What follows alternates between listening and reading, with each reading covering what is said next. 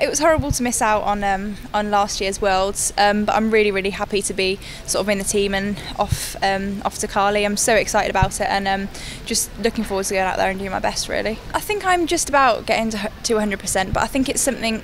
Um, it's an injury that's gonna like I'm just gonna have to look after and sort of be careful with it for forever. Really, I'm just gonna always be aware of it, but. Um, on the bike, I'm able to do everything now, so that's that's a good start. and yeah, like it's just it's it's just having a bit more confidence in my in my body really, and that I'm able to do to do everything on the on the bike.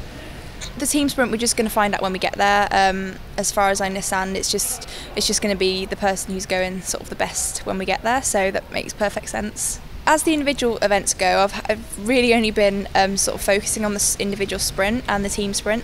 So um, but I'm going to be in the Keirin at the World, so I'm just looking forward to getting stuck in really and having a having a go and um, because I've not raced uh, it in a World Cup this year. So um, I did a couple of the Keirins in the sort of Grand Prix and stuff like that. So yeah, I've always enjoyed racing the Keirin. So the season's gone really well um, so far. Um, off the amount of training I did sort of before it, I wasn't really expecting it. So um, I'm happy with how how sort of racing's gone. But um, I'm I'm just aware that I'm going to have to just step up to another level in Cali. So um, I'm just going to have to be ready for that.